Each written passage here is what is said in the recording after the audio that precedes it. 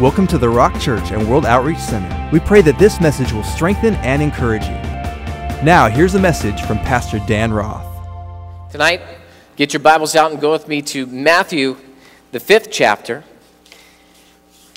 And this is the blessed life, part number one.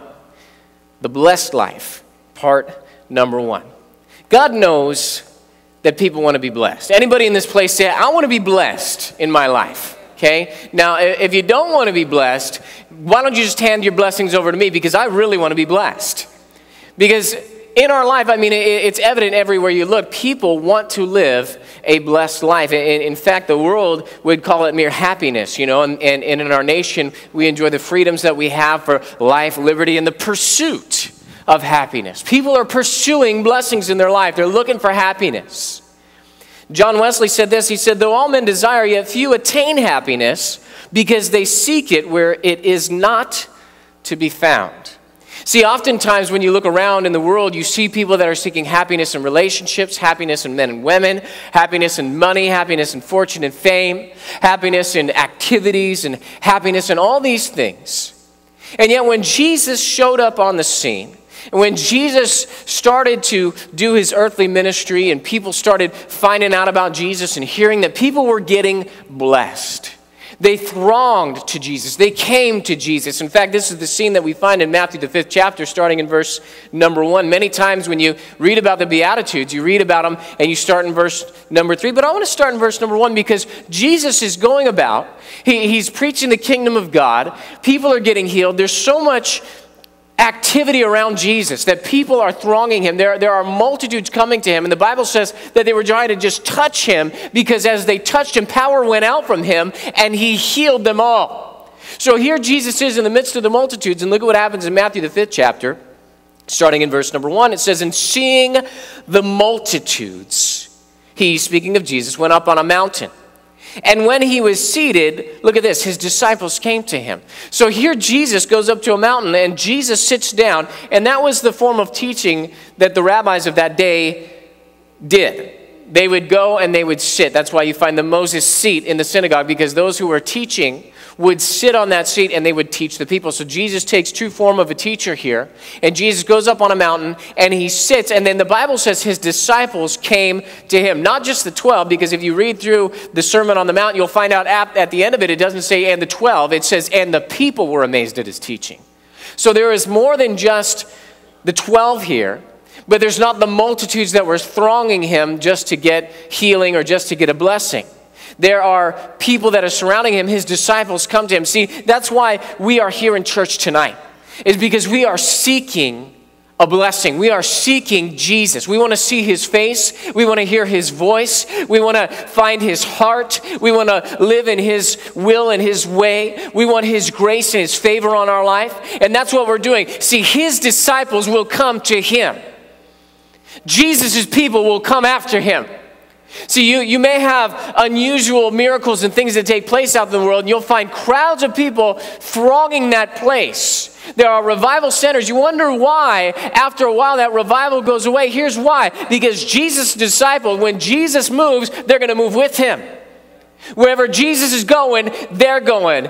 But if Jesus doesn't go, they say, like Moses, unless your presence goes, I'm not going with you. I'm not going without you, I mean.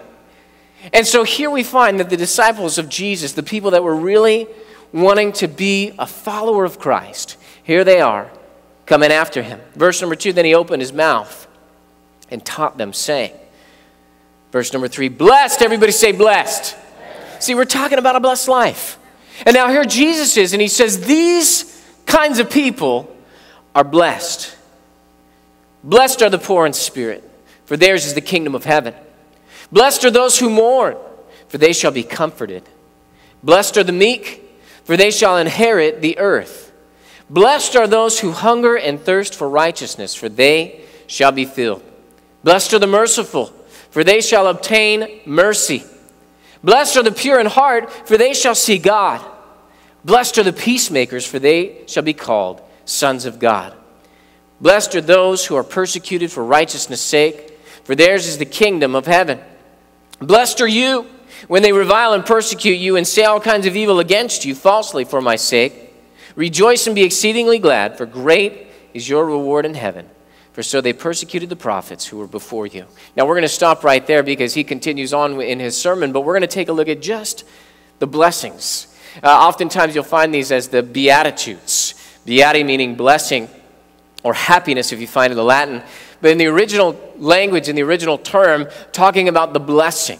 And this is the type of people that we ought to be. We ought to be a blessed people. See, here he describes what a true blessing is. If you take a look at this, that's a real blessing. The rewards that he lists are a real blessing. But I want you to notice something it's not based on circumstances. Because if the blessing was based on circumstances, the people that Jesus lists are not blessed. Is that true? Because we think blessing is wealth, riches, abundance. And the very first thing Jesus says is, Blessed are the poor. Wait a second, that just, that, that's not blessing. That's a curse. That's, that's not true happiness, lack and need and want. So that should show us this is not a circumstantial thing. This is also not a natural thing. Jesus is not saying that this is a natural state, even though some of them they do run over into the natural, like persecutions.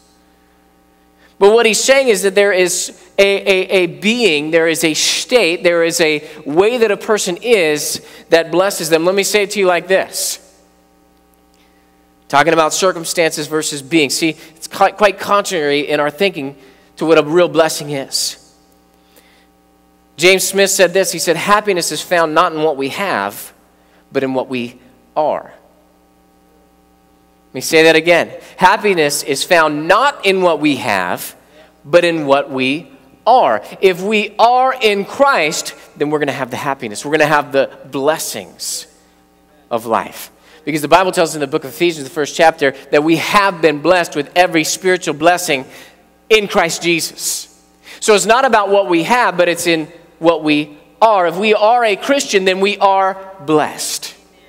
And that's the type of life Jesus wants us to live.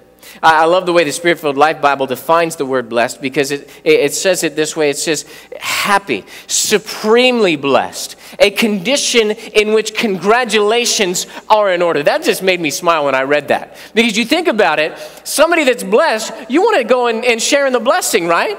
You hear somebody got a new car and you, what do you want to do? Hey, Congrats, man. That's, that's what a blessing that is. Somebody got married and you just want to write them a note and may God just bless your marriage, right? There's congratulations in order when someone is blessed. See, as, as the church of Almighty God, when we walk in the door, we could rightly say to every person that's born of the Spirit of God walking in, Congratulations. God is on the throne today. But you know what? You're so blessed to be a Christian, you're blessed to be alive. There's one guy that used to meet me at the back door. I'd say, "Hey, bud, how you doing?" He'd say, "Every day above ground is a good one." Now I get what he's saying, but at the same time, you know, it doesn't matter if I'm above ground or if this body goes below ground, because then, my goodness, the blessings really start because I get to see Jesus face to face. Absent from the body is present with the Lord. I'm going to glory. Don't cry for me. Throw a party in my honor and congratulate me for graduating. See, that's what this is all about.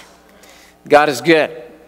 It's funny because uh, I was thinking about this, this, this state of being blessed, this state of being happy, not being based on circumstances.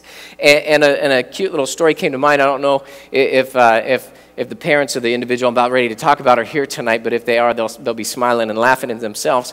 But I was dropping my son off at, at our school. We have a, a, preschool here and we have a, a, Christian school here. And so my, my little guy, he's in preschool. And so um, I was dropping him off. And as I was dropping him off, I noticed that uh, one of his little friends from church class, now there is a difference. You know, we got church classes that you drop them off to. And then when you drop them off for preschool, they have their preschool class. So here I am dropping him off at preschool class. And I saw one of the kids from church church that had not been at the preschool yet there at the playground. Little girl, cute as a button, and, and she's sitting there just sniffing. well, she knows who I am, so she looked at me and she sees me, and she all of a sudden she realizes I know this guy and I have an ally on the outside. And so she says, I want my mommy. Nap is different. And I went, Nap is different. Oh, okay. You don't like it here, you know. And I realized she's basically asking me, Will you break me out and take me to mommy, you know? And I, and I got down on her level. I said, Oh, honey, listen, it's going to be okay. You're going to have so much fun. Look at my little guys here, and you guys can play and, and have a good time. And that, that sort of was okay, but she kind of looked at me like, you, You've betrayed me, and how could you, you know? And so she ran off and, and, and they played. Well, uh, about a week later, here I was once again, dropping my little guy off, and I see her, and she is skipping around the playground, right? She is skipping around the same playground, same little girl, right? And as she comes whizzing by, she does this. She goes, I want my mommy. Nap is different. And, and I'm like, Are you kidding me? You know, what is that all about? Here's what happened the circumstance didn't change, the need in her life didn't change, but what happened? She changed. See, as you get into the Word, or, or I should better say, as the Word gets into you, your circumstances on the outside may not change. You're still going to wake up in the same earth suit. You're, you're still going to be in the same neighborhood, in the same house, looking in the same mirror, brushing the same teeth, wearing the same clothes. But you know what? On the inside now, all of a sudden, something's changed. You're different. You're blessed. And now you have the capacity to succeed. I remember when I gave my heart to the Lord, 15 years old. I, I was raised in church. Parents growing up were Christians. Thought that I was a Christian because I went to church, read the Bible, prayed, had answered prayers in life. Thought that I was a Christian, and yet something was missing on the inside of me. Something was lacking. And I remember my brother came home from a missions trip, and as he came home, he shared the gospel with me with a little gospel tract. That night, in the middle of the night, I woke up miserable, but the Spirit of God was hovering over me. And, I was kind of like, what is this all about? And I reached into my pocket and found that gospel tract. And there I prayed to receive Jesus as my Lord and Savior. And you know what? Same kid, same 15 year old, same house, same family, same, uh, same air, same water, same everything. But for some reason, when I woke up the next morning shaved, all of a sudden, everything changed. All of a sudden, the air just seemed to be sparkling uh, a little bit cleaner. Even the smog looked better. Uh, the birds were chirping. The rays of sun were coming through the window. And I remember saying, my goodness, something is different. Here's what's different is I am now blessed. I am no longer cursed. I'm a child of God and I have the blessing of God on my life. That's what makes all the difference. So here Jesus comes and he says, We're blessed. How to live the blessed life. He gives it to us.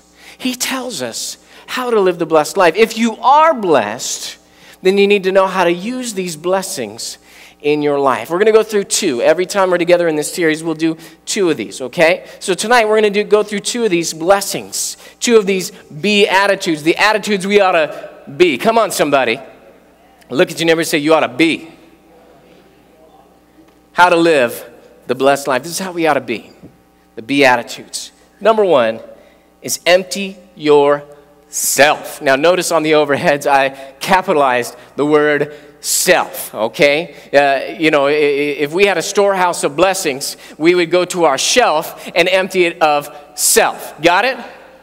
Because Jesus said these words in the third verse Blessed are the poor in spirit.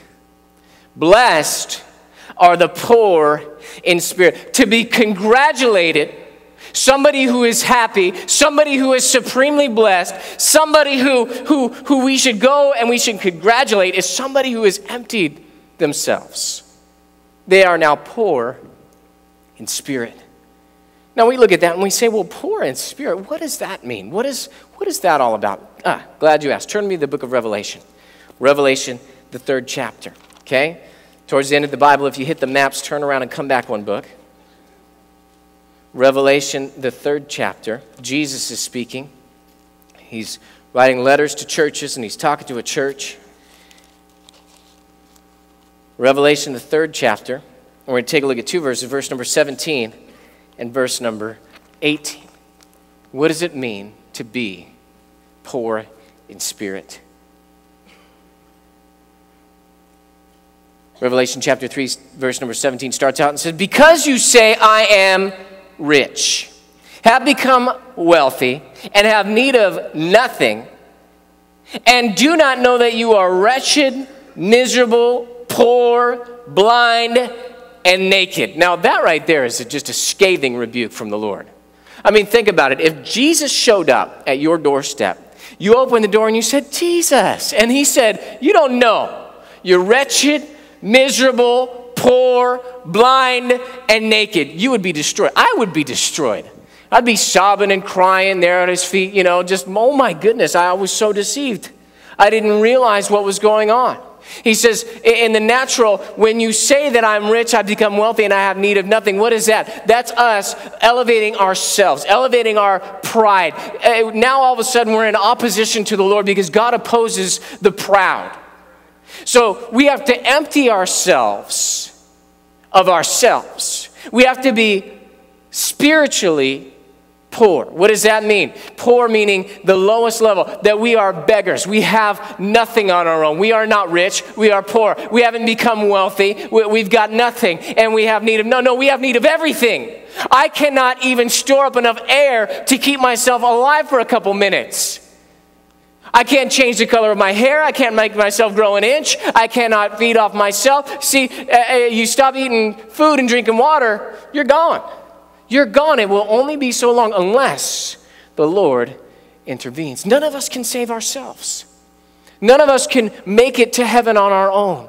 None of us can do the things that God wants us to do without the power of the Holy Spirit on the inside of us. So there has to be a spiritual need and a spiritual want. Let's take a look at verse number 18. Verse number 18 comes along and says this I counsel you. So Jesus said, Here's what you need to do. Because you've said this and you don't realize that your state is really poverty, I counsel you, listen to me, listen up. Here's what I want you to do I counsel you to buy from me gold, refined in the fire that you may be rich, and white garments that you may be clothed. Rest of the verse says, That the shame of your nakedness may not be revealed, and anoint your eyes with eye salve that you may see. See, we're groping about in darkness without the illumination of the Lord. We're, we're, we're, spotted, we're stained, we're dirty without the clothing of the Lord. And we don't have any wealth. All of our gold is tinsel that we took off the Christmas tree from last year unless we go to Jesus and buy from him gold. Now you say, well, wait a second. If I'm poor, and needy and destitute and all that stuff, how can I buy from Jesus all these things? Ah, I'm glad you asked. Let me put it up on the overheads for you in the book of Isaiah. Great verse, uh, really a, a, corresponding verse to what we just read, Isaiah, the 55th chapter, verse 1 and 2. Look at what it says up on the overheads. It says, Ho! Listen up! Everyone who thirsts, come to the waters. If you have a need, if you have a desire, if you have a lack or a want, you have a thirst, then, then come.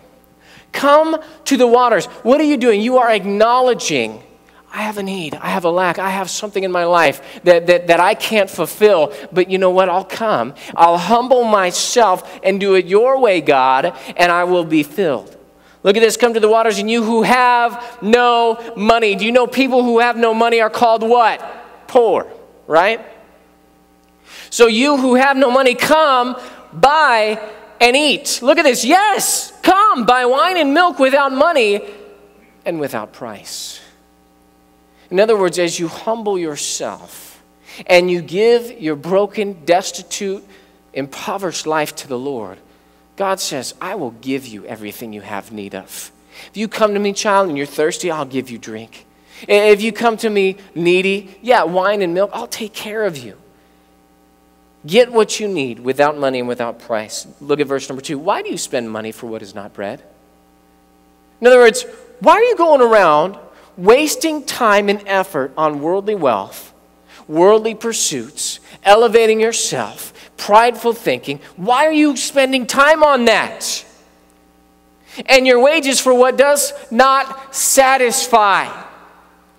Why are you going around trying to entertain yourself and numb yourself when you have a need? Don't go and numb yourself and try and entertain yourself or, or, or just ignore the problem. No, bring it to me. Humble yourself. Realize that you're poor and needy and you can't do it on your own. You need to come and drink. Come and I will give it to you. Listen carefully to me and eat what is good and let your soul delight itself in abundance. See, as you listen to the voice of the Lord, you realize the true wealth of the kingdom of God. You realize, my goodness, this worldly stuff, this worldly wealth has nothing. Why? It's temporary, it's fleeting, it lasts for a moment. Even the Bible says riches will grow wings and fly away. Anybody else experience you had an abundance and all of a sudden it grew wings and it flew away? Anybody notice that about money? You know, you get a big, oh, I got my tax return, and now here we are a couple months later and saying, where's it, when, when's, when's next year coming around? Because I need that tax return again. Anybody experience that other than Pastor Dan? Okay, two of you. Great. Praise the Lord. But see, that's how life is. And so God is saying, don't invest yourself in temporary things that are not going to satisfy you here on the earth. Don't go after things that are not going to solve problems in your life. Numbing yourself, ignoring the problem isn't going to work. It's going to fester and it's going to boil up and it's going to eventually explode in your face. You don't want that. Come to me. I'll take care of you. I'll clothe you. I'll feed you. You don't have to worry about tomorrow. Tomorrow has enough worries of its own. I've got your back. Are you listening tonight? Thomas Watson said, Till we're poor in spirit, Christ is never precious. And before we see our own wants, we never see Christ's worth. See, it's as we realize that, you know what, I don't got anything. I am not all that and a bag of chips. Just me. I'm poor and needy. God, I need you. God, I need you to come through. God, I need you to save me. God, I need you to heal me. God, I need you to deliver me. God, I need you to provide. God, I need you to give me strength for this day. God, I need you to take care of this situation. God, I, I give you my relationships. God, I, I give you my marriage. God, I give you my children. God, I can't do it. God, I need your grace. I need your ability. I need your power. I need your strength. God, I need you. See, when you say that and you recognize and realize your pouring spirit, now God says, Yours is the kingdom of heaven. Yours is the kingdom of heaven. Now, maybe you don't realize what that means, and, and, you may not be given a clap, or maybe you are, but you're going, I don't understand what that means. See, Jesus said, Fear not, little flock, for it is my good pleasure, my Father's good pleasure, to give you the kingdom. He didn't say to give you gold bricks. Hello?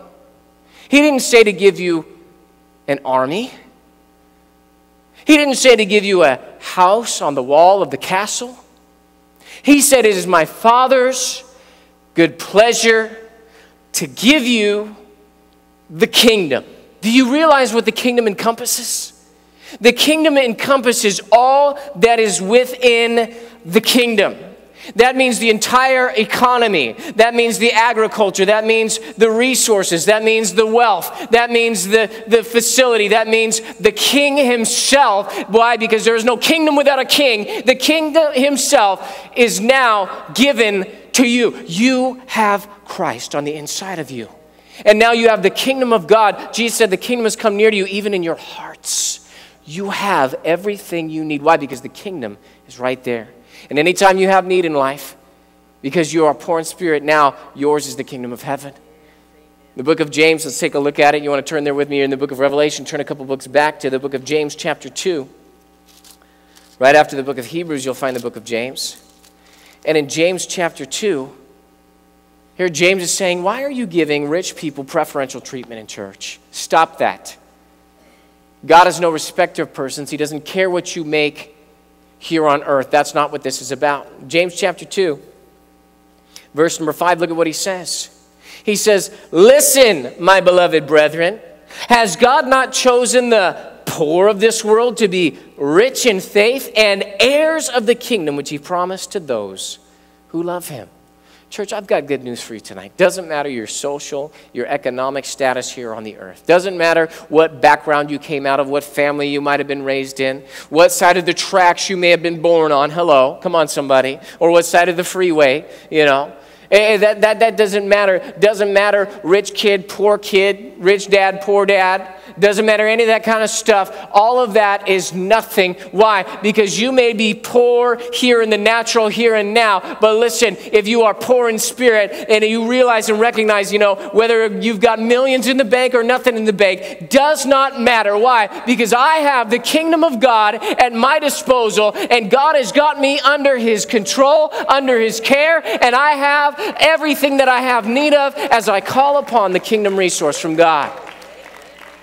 See, that's the blessing of being poor in spirit is that as you realize it's not about me, this is about the kingdom of God. It's not about my will, it's about His will. It's not about my greatness, it's about His greatness. Then, by faith, you get a hold of the things that you have need of in life and you bring them into your reality here on the earth. You confess the Word of God, you believe the Word of God, and then you receive the Word of God. Are you listening tonight? Hallelujah. Second thing for tonight, I'm going to do two of these, remember. Second one for tonight is this deeply care. You want to live a blessed life?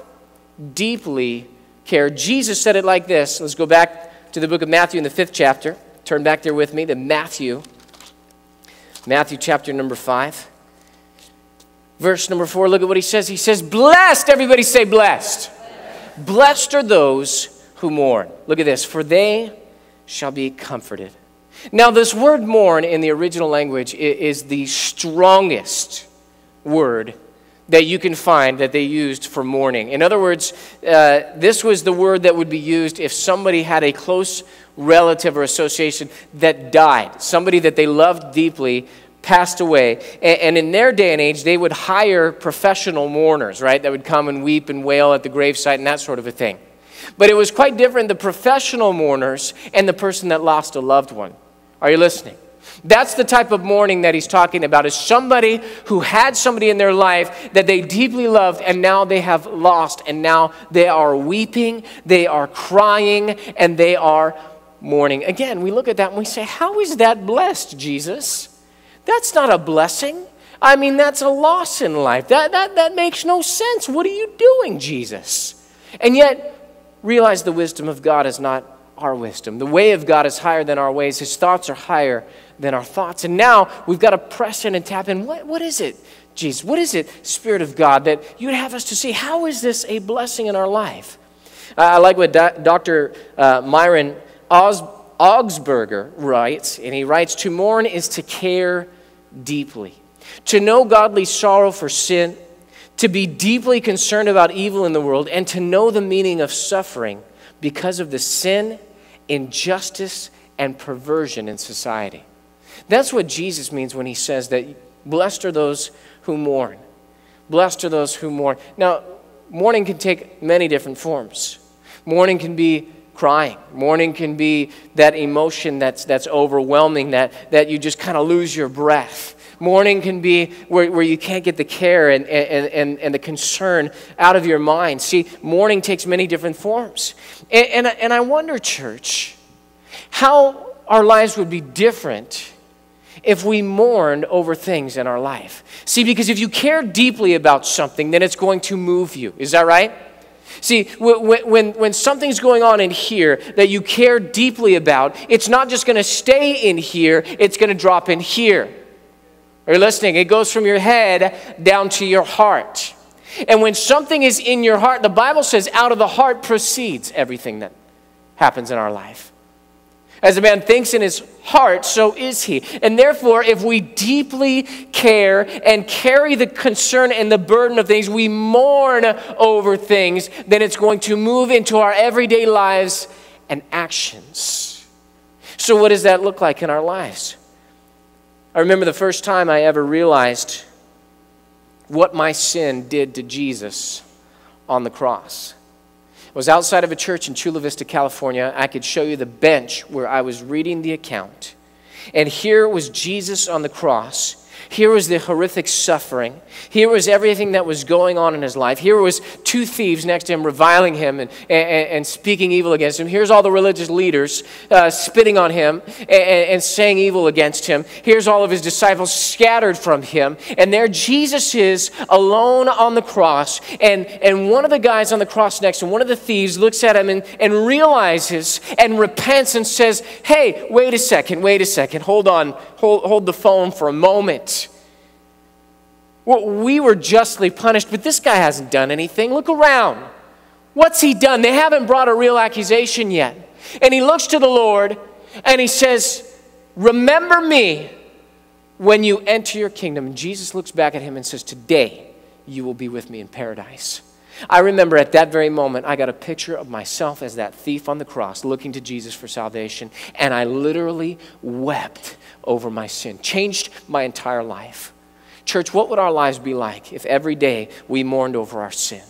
If when we encountered sin in our life and when we recognized and realized something's gone on in our heart, that we actually cared deeply about it. See, we have been so numbed to, to sin. We've been desensitized. And now we are insensitive to the things that grieve the Spirit of God. And God is crying out and saying, Don't you realize the relationship that you have with me? Don't you realize that that hurts my heart and I can't remain close to that? I'm still in your heart. You're still a Christian. But listen, the power and the intimacy in your life is going to be gone if you continue in that. And if we cared deeply about it, it would move us to do something about it. Now, listen, I'm not just preaching at you, I'm preaching to myself right now, too because I can find it easy to be insensitive, not only to my own self, but to the needs of others. Just, just the other day, my wife and I were going on a date, and, and I, I, was looking at movies to go to, and one of them looked really interesting, had a great story, great plot. It looked like it was intriguing, you know, kind of sci fi thriller type thing. And, and I got savvy, and I got a hold of this little app that gave Christian reviews of movies, because I said, well, they're going to tell me every word that's bad that's spoken, every bit of nudity and filth, you know, they're going to tell me all that stuff so that I know before going into this movie what I'm getting myself into. And as I started reading the Christian review, it grieved me. And I said, Ain't no way I'm going, let alone take my wife to see that. And so we ended up seeing else that was completely disappointing. You know, and that was just, it's just Hollywood, okay? But, anyways, it was actually better, though, than going to see the other one. See, if we actually cared, if we took the time to realize and to take a, a step back from ourselves and mourn and grieve and weep and wail over our sin, I believe we would live holier lives. Don't you? What about in our society? What about in our world? What about with people that are in our spheres of influence? Listen, grandparents, can I talk to you for a second? Don't, don't, don't back off your grandchildren. Love them, train them, teach them. Your kids may, may not like everything that you have to say, but they're ultimately the parent, they're going to raise them. But you have influence, and if you deeply care, Blessed are those who mourn. See, eh, move to do something. Talk to your children. Show them the right way of the Lord. See, with, with, with your, your, your children, speak to them. Care about them enough to not let them get away with stuff. My kids just went to camp. They are tired. They're probably asleep in those chairs over there right now. But listen, I, I told my daughter, because my daughter said, Daddy, I'm feeling like I don't want to be here. I'm so tired. I said, Honey, I know you're tired, but just tap into Jesus right now because the mountaintop is great, but church is what's ongoing, and that's what's going to get you into the teaching of the Word of God. It's consistent in your life, and just push through, honey. You're going to make it, and you can sleep in tomorrow. See, we got to place these values. You say, You're tough on your kids. My goodness, they're going to grow up and hate the house of God. No, they're not. They're going to love the house of God. Here's the reason why because tonight I know my children are having a God encounter over there. And listen, I trust God with my kids more than I trust myself. Is that right? And because I care about them and love them, I'm going to do the hard things with them.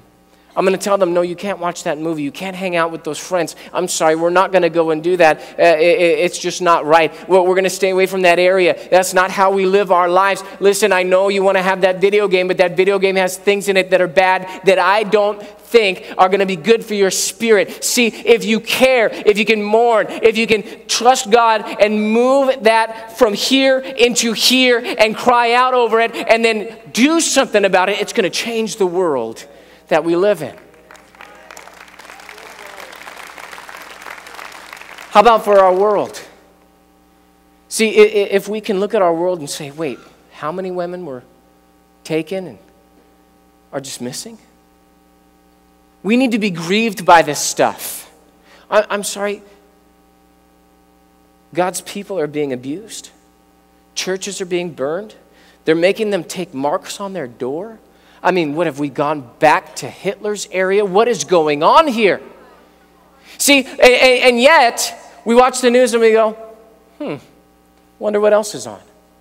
And yet we need to grieve and we need to mourn and we need to be just completely shocked out of our systems and not be desensitized. Listen, that's not a video game. It's not a first person shooter. There are actual lives that are being taken on this earth and we need to be grieved and mourn enough to get on our knees before the Father and say, God, I can't do anything about it. I'm thousands of miles away, but God, you can do something about it. And God, you've got people there. And God, bless your people, protect your people strengthen them. God, move. Lord, let the gospel pierce these places in Jesus' name. The Bible says that when you do that, you're blessed.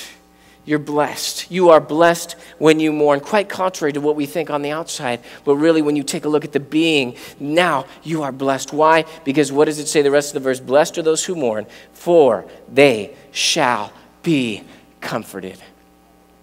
They shall be comforted. Yeah, you may be uncomfortable now, but you shall be comforted. The Bible says at the end of it all, when everything wraps up, that God Himself will come and wipe every tear from our eyes. I can't imagine a better comforter than God Himself. Psalm 34 18 says this The Lord is near to those who have a broken heart. There in your bedroom, when you're crying all alone and you thought nobody was listening the Bible says that God re- takes every tear and places it in a vial. He's got it stored up. The Lord is near to those who have a broken heart and saves such as have a contrite spirit. When you were there at work and you ran into the bathroom because you didn't want anybody to see you break down, God was there. When you were in the car on the freeway and you were just about ready to drive off the road and crash the car because you wanted to end it all, listen, God was there in the passenger seat keeping you safe.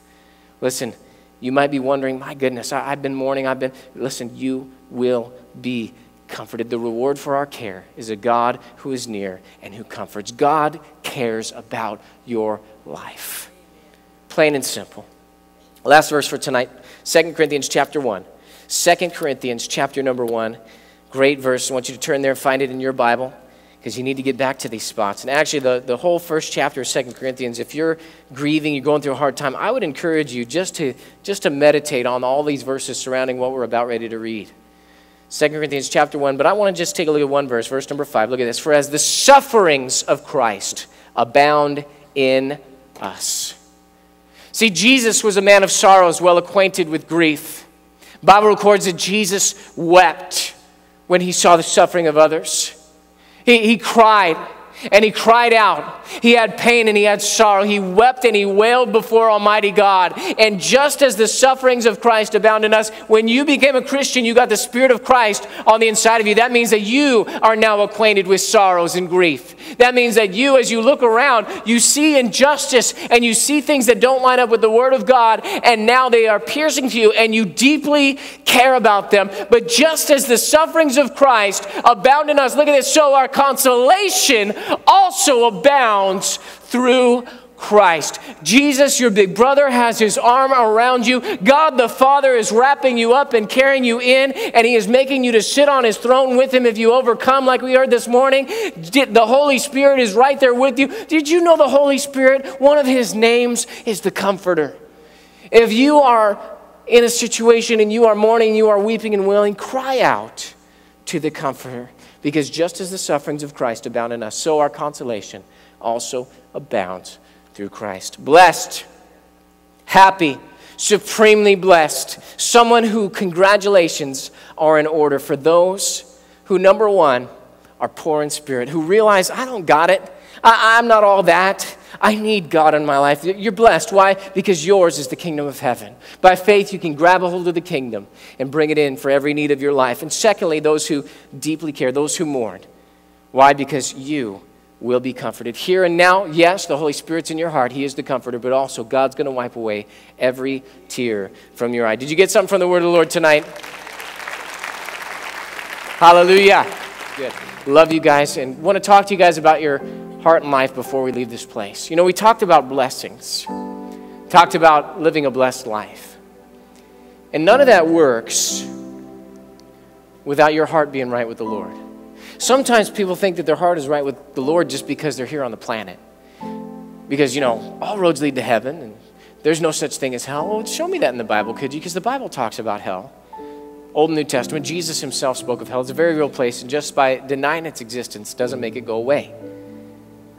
And all roads don't lead to heaven, contrary to popular belief. Why? Because nowhere in the Bible does it say all roads lead to heaven. You think God created the heavens and the earth, the one who wrote the plan of redemption, carried it out in his son Jesus, beaten, bloody mess, hung on the cross for you and I. Do you think after he did all that, that he would just say, yeah, whatever you want to do and you want to do, and you know, this church over here this, thinks this, uh, whatever you guys want to do, that's okay with me. Just do your thing. I'll see you in heaven. No, he doesn't say that at all. He tells us exactly how to get to heaven in the Bible. Now, oftentimes people think, well, doesn't the Bible say good people go to church? I've been a really good person, helped out, gave money to charities, been nice to my neighbors. I'm going to get to heaven because I'm good, right? Wrong. Nowhere in the Bible, check it out, nowhere does God say just be good and that'll get you to heaven because nowhere do we see where, how good do you have to be? You know, the Bible, of course, the standard is perfection. The only one who is perfect, his name is Jesus. Not going to make it there based on your goodness. That's that spiritual poverty we were talking about. Can't go there and say, I'm rich, God, let me in. No. Got to do it his way.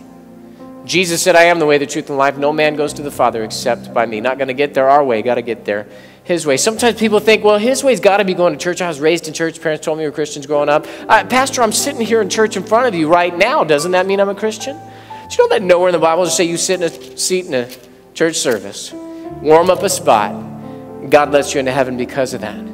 Nowhere in the Bible say be raised in church or, you know, go to religious classes, wear religious jewelry, be baptized or Christian as a child, that you get to go to heaven. It doesn't work like that. Sometimes people say, well, hold on a second. I got involved at my last church. Doesn't that mean I'm a Christian because I helped out, carried the pastor's Bible, made decisions, sang in the choir? People thought of me as a leader, got a membership card to that church. Know that nowhere. Check it out. Nowhere in the Bible say your church involvement gets you into heaven. It's not there. You say, but Pastor, I know God. I know who Jesus is. I, I celebrate Easter and sing the songs at Christmas every year of my life. I could quote scripture to you, Pastor. That's great. But have you read your Bible? Because if you had, you know that the demons know who Jesus is. They're not Christians. The devil himself knows who Jesus is and can quote scripture, and yet that doesn't qualify him for heaven. So, everybody, look up at me for a second. This is not about what you have in your head, not about having mental assent towards God. Knowing who Jesus is in your head, and yet missing him with your heart. God's always been after your heart. Jesus made the statement like this if you want to inherit the kingdom of heaven, remember, we talked about the kingdom of heaven. If you want to inherit the kingdom of heaven? You want to get to heaven? Here's how you do it you must be born again. Now, I know our society's made a mockery out of that term. They've raked it through the coals in movies and books and magazines and television and the internet. But let's not let the foolishness, foolishness of man define something that God defines. God has defined being born again in His Word. What does being born again mean? Well, from the beginning of the Bible to the end of the Bible, it's always meant the same thing. It means you've given God all of your heart and that you've given God all of your life. That's simple. It's all or nothing with Jesus. Let me prove it to you in the last book of the Bible, the book of Revelation. We were there tonight. Book of Revelation. Jesus is speaking to a church just like he's speaking to us here in this church tonight. He says, When I come, I want to find you hot or I want to find you cold because if I find you lukewarm, I will vomit you from my mouth. Now, those are gross, graphic words from the mouth of Jesus, but what's he talking about? Lukewarm, what's that? Well, it's a little in, little out, a little up, a little down, a little token prayer every now and again an occasional church attendance. God is something in your life, but He's not everything. And you're not opposed to God, but you're not wholehearted for God. Listen, if that's your relationship with Jesus, you're not going to make it. How do I know that? Because only people that are not real Christians will be ejected and rejected from the body of Christ. So tonight, in a moment, I'm going to give you an opportunity. I'm going to go just like this one, two, three, bang, pop my hands together. When you hear the sound of my hands popping together, just like that, bang, that's your opportunity to raise your hand. What you're doing by the raising of your hand you're saying, I want to give God all my heart. I want to give God all my life. Want to be born again, headed for heaven, denying my presence in hell. Now you might be thinking, whoa, whoa, wait a second, time out. Why do I got to do that? If I raise my hand, I'll be embarrassed. Uh huh, you might be. Let's get over that. Let's push past that embarrassment tonight. Because Jesus said, if you confess me before men, I'll confess you before my Father in heaven. But if you deny me, I will deny you. That's why we do it this way confess Jesus before men. I'm a man, I'll see your hand go up, I'll count it, put it right back down. Probably won't even be embarrassed. But even if you are embarrassed, isn't it better to be embarrassed for a moment than it is to end up in hell forever and ever and ever? And no one would make that trade. Come on. Probably won't even be embarrassed, but even if you are, it's better. So tonight, who should raise their hand if you've been running from God instead of to God? I'm speaking to you. Who should raise their hand if you're not sure about your salvation? Tonight, come on, make sure. Who should raise their hand if you've never done this, never said yes to Jesus, given him all of your heart and all of your life? I'm speaking to you. Or finally, who should raise their hand if you're lukewarm in this place and you know that's the condition of your heart when I described it? Get ready to get your hand up all across this auditorium, back in the family rooms, wherever you're at, watching my television in the foyer or in the Love Rock Cafe or even online. God is watching wherever you're at. And then you can click the button, respond to God next to your browser or on our homepage. Someone will lead you in a prayer. I'm going to count to three, pop my hands together.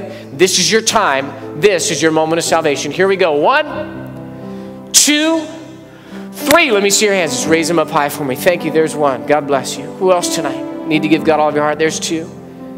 Anybody else, real quick? Is that a hand up there in the family room? I see one up there. I think that's three. There anybody else, real quick? About three wise people. Anybody else on this side? Four. Gotcha. Thank you. God bless you. Who else? Who else? You're saying, ah, I know I need to do this. Come on. If that's you, just lift your hand up. Anybody else, real quick? We're going to enter into this wonderful blessing of a relationship. There's five. Who else tonight? You're saying, I know I need to. Just go for it. Come on, if that's you. Just lift your hand up and let it. Let me see it. Anybody else? We'll close this up in a moment. Don't miss this opportunity. You've missed enough opportunities in your life. Anybody else? All right, well, let's give the Lord a hand for about five wise people tonight. Hallelujah. God is so good. All five of you, or if you're number six, seven, or number eight, you should have raised your hand, but you didn't. It's not too late. Here's what I want you to do. In a moment, we're all going to stand, give a clap and a shout. As we do, that's your cue to get your stuff coat, purse, sweater, Bible. Friend, if you need a friend, Once you get in the aisle and meet me up front because we're going to change destinies here tonight. Can't do that till we get you down here. So if that's you, you raised your hand, or if you should have raised your hand, come on. You can come too at this time. Let's all stand and welcome them. And you come right now. Let's welcome them. You come. Come on down. Jesus, I believe. Come on, you can come too. From the family rooms, get your kids. Come on down.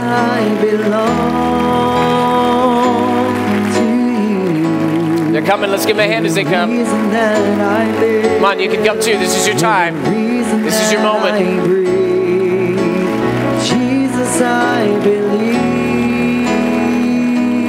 Anybody else, if you need to come, just make your way to the front right now. Jesus, I belong